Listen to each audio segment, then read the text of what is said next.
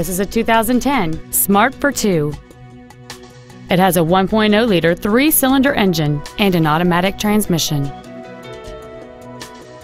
This Smart has had only one owner, and it qualifies for the Carfax buyback guarantee.